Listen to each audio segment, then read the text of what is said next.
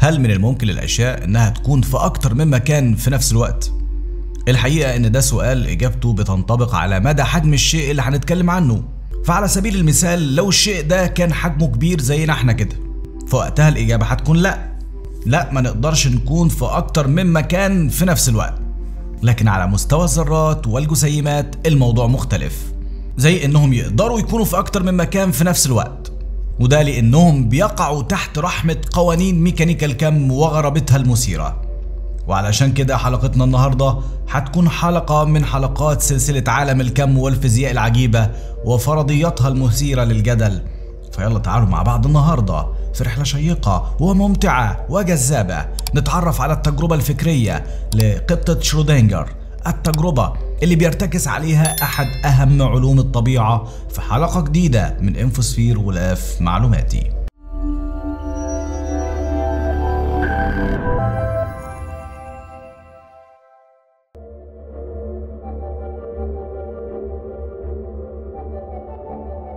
لو بصينا على قوانين ميكانيكا الكم فهنلاقيها بتقول لينا إن خصائص أي جسيم في الطبيعة زي مكانه ودورانه مش مجهولين فقط. إنما ما نقدرش نعرفهم غير لما نقيس الجسيم ده. وقبل ما يتم قياس الجسيم في الأصل بيقول لينا عالم الكم إن الجسيم بيبقى موجود في أكتر من مكان في نفس الوقت. وده بالضبط ما يعرف بحالة التراكب الكمي أو ال superposition وده معناه إن جسيم زي الإلكترون هو مش موجود هنا ولا هناك إنما هو هنا وهناك في نفس الوقت. ومش بيدور لفوق أو لتحت إنما بيدور لفوق ولتحت بنفس الوقت. والحقيقة إن ده يبان جنون لو هنبص له من منظور الفيزياء الكلاسيكية. لأننا على أرض الواقع لما بنكون ماسكين كرة تنس فإحنا بنبقى عارفين بالضبط هي فين وسرعتها كام. وعلشان كده بيبان لينا إن سلوك الجسيمات في عالم ميكانيكا الكم بيتعارض مع فهمنا للعالم من حوالينا. وفي بداية القرن العشرين كانت الفيزياء الكلاسيكية مش قادرة تفسر الظواهر الفيزيائية دي. علشان كده بدأ العلماء في تطوير نظرية جديدة بتسمى الفيزياء الكمومية اللي بتعتمد على فكرة إن الطاقة والمادة بتتكون من وحدات متقطعة تسمى الكمات.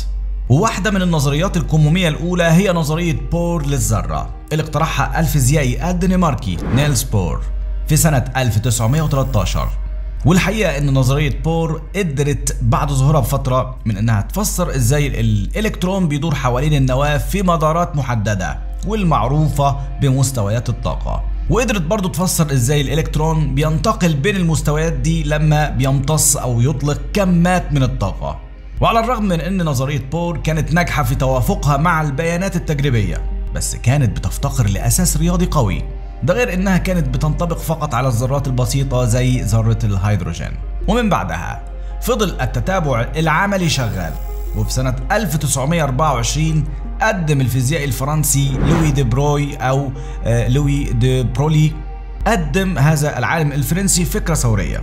وهي إن كل المادة في الطبيعة ليها خصائص موجية وجسيمية في نفس الوقت. وده معناه إن الإلكترونات ممكن نعملها أكنها جسيمات وأكنها برضه موجات ضوء بنفس الوقت. ومن بعده في سنة 1926 نشر عالم الفيزياء النمساوي إروين شرودنجر معادلته الشهيرة. واللي من بعد نشرها بدأ يتشكل لينا فهم كبير للطبيعة من حوالينا. وبسببها فاز بجائزة نوبل لسنة 1933 وفي عالم الفيزياء الكمومية بتعتبر معادلة الدالة الموجية لشرودنجر أو ال wave function واحدة من أهم المفاهيم اللي بتوصف سلوك الجسيمات على المستوى الذري والجزيئي. وببساطة هي عبارة عن دالة رياضية بتمثل خصائص الجسيمات زي الإلكترونات أو الفوتونات. ده غير إنها بتكون شايلة جواها معلومات عن احتمالية وجود الجسيم في مكان معين وزمن محدد. وده يبين لينا إن الدالة الموجية بتخضع لمعادلة بتحكم تطورها مع الزمن. وده معناه إن المعادلة دي بتقدر توصف الجسيمات في أي لحظة من الزمن.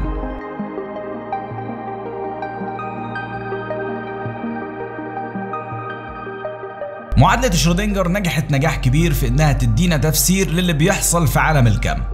لأنها قدرت تدينا احتمالية بتخلينا نتنبأ بوجود الجسيمات في كل المواقع الممكنة. وده معناه إننا ما بنقدرش نعرف مكان الجسيم فين بالضبط. إنما بنقدر نديله احتمالية لوجوده هنا أو هناك لما بنيجي نقيسه أو نرصده وده ينقلنا لما يعرف بتفسير كوبنهاجن أو ال interpretation of كوبنهاجن. وهو واحد من النماذج الفلسفية والرياضية في مجال الفيزياء الكمية. تم تطويره في العشرينيات والثلاثينيات من القرن الماضي. بواسطة نيلز بور وفيرنر هايزنبرج وماكس بورن وأوجست كريشهوف واللي بينص على إن مراقبتنا لأي جسيم في الطبيعة بيأثر عليه. يعني المراقبة بتاعتنا هي اللي بتأثر على هذا الجسيم فبالتالي لما بنيجي نقيس أي جسم مش هنقدر نشوفه في حالة تراكب كمي اللي شرحناها من شوية. يعني حالة فيها أكتر من احتمال وإحنا مش عارفين أنهي احتمال هو الصح واللي حاصل. إنما هنشوفه في حالة واحدة فقط. يعني مش هنشوف الإلكترون بيدور لفوق ولتحت بنفس الوقت. إنما هنشوفه بيدور يا إما لفوق أو إما لتحت. ومن هنا يظهر لينا مفهوم انهيار الدالة الموجية أو ال wave function collapse واللي بيقول إن ملاحظتنا وقياسنا بيأثر على خاصية التراكب الكمي للجسيمات وبيخلي التراكب ده ينهار وتظهر لينا حالة واحدة فقط.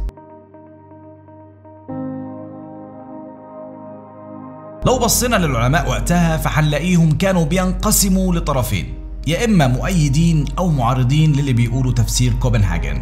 واحد من المعارضين للتفسير ده هو أينشتاين. وتعارضه ده جه بعد ما طرح بور وهايزنبرج كلام بيقول إننا ما نقدرش نعرف أي خاصية فيزيائية من غير ما نعمل عملية قياس. وده كلام أينشتاين ما عجبهوش ورفض قبوله. وبيقول الفيزيائي ومؤرخ العلوم إبراهام بايس إنه لما كان في نزهة مع أينشتاين وكانوا بيناقشوا أفكار ميكانيكا الكم وقف أينشتاين فجأة والتفت لإبراهام وقال له هل تفتكر القمر بيكون موجود فقط لما ببص عليه؟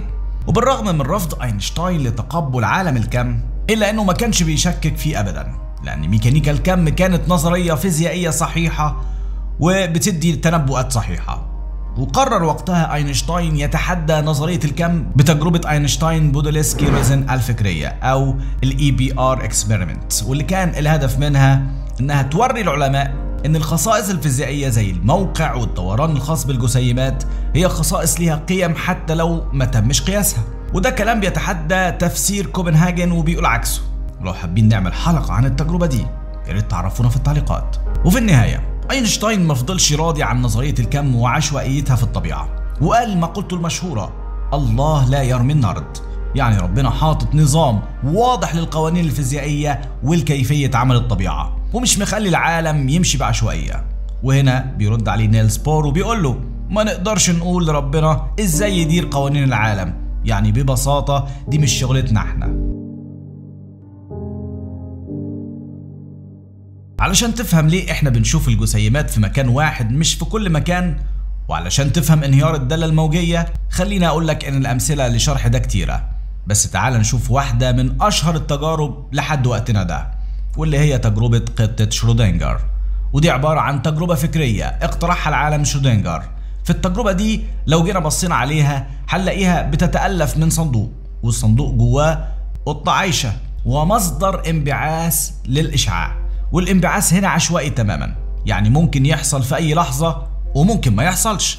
وفي الصندوق برضه حساس أو ديتكتور عداد جايجر وده عبارة عن كاشف للإشعاع متصل بمطرقة أو شاكوش. والمطرقة أو الشاكوش ده تحتها علبة زجاجية فيها غسام. ولو اكتشف الكاشف انطلاق إشعاع فوقتها هيوقع المطرقة أو الشاكوش اللي بدوره هيكسر الزجاجة. وبكده يخرج الغاز وتموت القطة. ولو ما اكتشفش الكاشف لأي إشعاع فوقتها مش هيحصل أي حاجة والقطة هتفضل عايشة.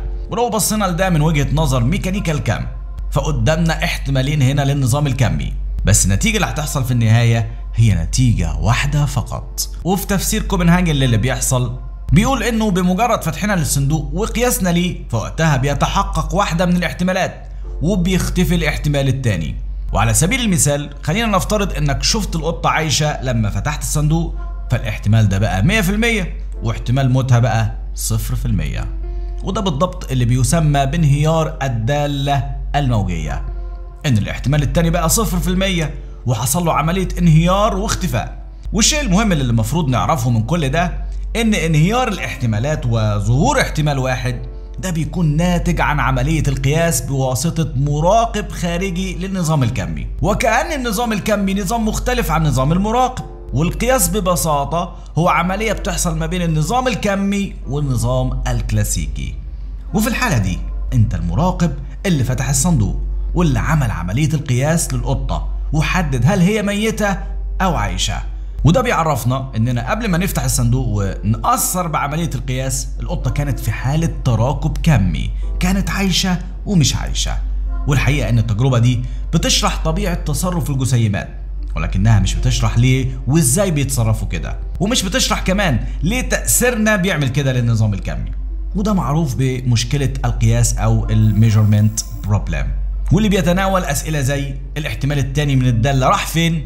يعني لو القطة كانت عايشة فاحتمال موتها راح فين؟ ويا ترى إيه هي الآلية اللي خلت الدالة يحصل لها انهيار؟ وكجواب على أسئلتنا دي خلونا ناخد رد نيلز بور واللي بيقول إننا بنفسر فقط ميكانيكا الكم بناء على البيانات اللي بنقدر نشوفها بوضوح. بس ما تسألنيش إزاي وليه بيحصل ده. وده يبان جواب مش مرضي لعقولنا. بس على الجانب التاني ممكن نلاقي جواب غريب. وهو عبارة عن تفسير تاني لنفس الحدث ده. ممكن يفسر لينا إيه اللي بيحصل للدالة واللي بتنهار والاحتمال التاني بيروح فين؟ والتفسير ده هو تفسير العوالم المتعددة أو الأكوان الموازية. Many Worlds Interpretation.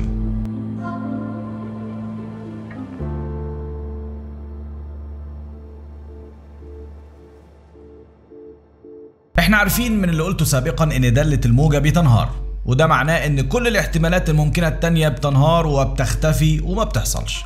وبيتحقق احتمال واحد بنشوفه لما نعمل عملية قياس. بس إيه رأيك لو قلت لك إنه أصلا ما بيحصلش انهيار للاحتمالات ومش بتختفي ابدا بناء على افتراضات فرضها بعض من العلماء هنشرحها بعد شوية. والكلام ده مش بينطبق على القطة بس إنما علينا كلنا كجزء من النظام الكمي. أنا وأنت والكون كله من حوالينا كلنا عبارة عن احتمالات كتيرة. واحدة من الاحتمالات دي بتحصل أما باقي الاحتمالات بتحصل في أكوان وعوالم متعددة تانية. والتفسير الخطير ده نابع من الرياضيات الخاصة بميكانيكا الكم واللي تم اقتراحه سنة 1957 من هيو إيفريت لما كان طالب دراسات عليا في جامعة برينستون. وتفسير العوالم المتعددة بيقول إن الواقع اللي لاحظته لما فتحت الصندوق وشفت القطة عايشة هو عبارة عن عالم واحد إنما الاحتمال التاني لموت القطة ده حصل فعلا في عالم آخر. فتفتكر هل الأكوان المتعددة مجرد حبر على ورق؟ ولا ممكن فعلا تبقى حقيقة مش مدركين ليها لسه؟ لو حابين نناقش موضوع الأكوان المتعددة ده أو العوالم الموازية في حلقة منفصلة اكتبوا لنا في التعليقات. أنتوا عارفين يا أصدقاء كل لما أفكر في ميكانيك الكم وقصة المراقبة والقياس اللي عندها بتنهار كافة الاحتمالات وبيظهر احتمال واحد في الواقع بفتكر المثال اللي قاله فيرنر هايزنبرغ. لما قال إن الكيانات أو الحاجات اللي بنمارس عليها فعل الرقابة أو القياس علشان ندرسها وتقيس حرارتها تمام كده؟ زي قطعة تلج أخدتها من التلاجة وحطيتها على إيدك علشان تراقبها وتشوفها وتشوف مدى البرودة اللي فيها. وفي الوقت اللي أنت بتشوف قطعة التلج دي بتدوب وبتسيح وبتنتقل لحالة تانية بفضل حرارة إيدك اللي دوبتها. بالتالي مستحيل إنك تعمل قياس لقطعة التلج بإيدك السخنة من غير ما تغير في خصائص حالتها. ده مثال بسيط حب يوضح بيه هايزنبرج مشكلة القياس في ميكانيكا الكم وبس كده دي كانت رحلتنا النهارده. أتمنى تكونوا استمتعتم وتعلمتوا شيء مفيد وجديد. ومستني أعرف رأيكم في الكومنتات. وما تنساش ال like والاشتراك وتفعيل زر الجرس علشان توصلك حلقاتنا أول بأول. وعلى وعد إن شاء الله بلقاء جديد في انفوسفير ولفة معلوماتية. رحلة الحياة بين العلم والدين والخرافة. تحياتي محمد فهمي سليم. سلام عليكم.